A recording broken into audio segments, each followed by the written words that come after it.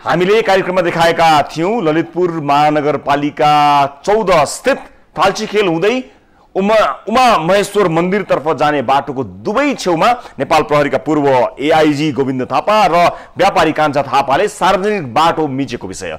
हामी भन्दै र देखाउँदै आइरहेका छौँ देशमा पावर र पैसा हुनेहरू जे पनि गर्न सक्दछन्। हुन त यो विषय सम्मानित अदालतमा त्यसको फैसलाका लागि बसिरहेको छ र हामीले अदालतमा भएका विषयहरूलाई प्रभाव पार्न नसके तापनि यथार्थ देखिरहेको अवस्थामा हामी त्यसको फलोअप गर्न छोड्दैनौँ भन्ने कुराको जानकारी आदरणीय दर्शक महानुभावहरूलाई हामीले गराउँदै आएका छौँ र ती विषयहरू उठि पनि रहेका छन्। हामीले उठाएका विषयहरूलाई फलोअप गरिरहेका छौँ भन्ने जान्नका लागि प्रस्तुत छ यो रिपोर्ट।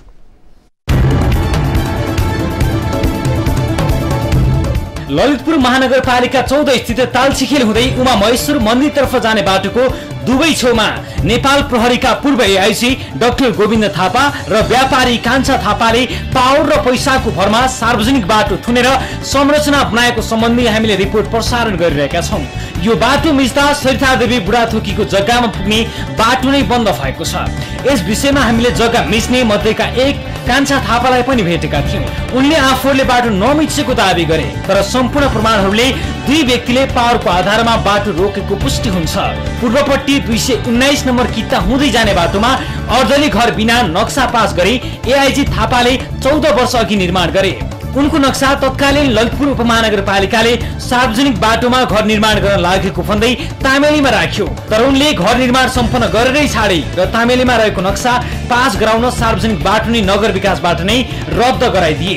उनले पहाडको भरमा नगर विकासको बाटो रद्द गराउन सफल भए तर त्यही नगर विकासबाट दुई हजार सडसठी फागुन तिसमा उक्त सडक नगर विकासको बोर्डले रद्द नगर्ने निर्णय गर्यो भने दुई हजार अडसठी साउन आठ गते त्यही समितिले बाटो रद्द गर्ने निर्णय गर्यो। तर उक्त बाटोबाट प्रत्यक्ष असर पर्ने सरिता देवी बुढाथोकीलाई कुनै जानकारी नै दिइएन अन्तत थापाले दुई हजार अडसठी चैत्र चौधमा बाटो रोकेर निर्माण गरेको अर्दली घरको नक्सा पास गराएर सम्पन्न गर्न सफल भए। यसरी पूर्व एआइजी थापाले सार्वजनिक बाटो मिचेर संरचना निर्माण गरे। यो मुद्दा अहिले अदालतमा चलिरहेको छ। तालसिकेल हुँदै उमामहेश्वर जाने एक सय चालिस मिटरको लिङ्क रोड आधा खुलेको छ भने पूर्वबाट एआइजी थापाले र पश्चिमबाट कान्छा थापाले एक एक कित्ताले रोकेर त्यस क्षेत्रका करिब पाँच सय घर प्रत्यक्ष मारमा परेका छन्। दर्शक महानुभावहरू स्पष्ट देखिने गरी त्यस क्षेत्रका पाँच सय घरलाई प्रभाव पार्ने गरी जसले पनि सरसर्ती हेर्दा बुझ्न सकिने गरी भएको यो विषयको फलोअप हामी यसकारण गरिरहेका छौँ र अन्य धेरै विषयहरू पनि छन् जसको फलोअपलाई हामी निरन्तरता प्रदान गर्नेछौँ। र आजको कार्यक्रममा हामीले सम्बन्धित निकायहरूसँग गर्ने कुराकानी कम भएको छ। आज धेरै मानिसहरूले फोन उठाउनु भएको छैन।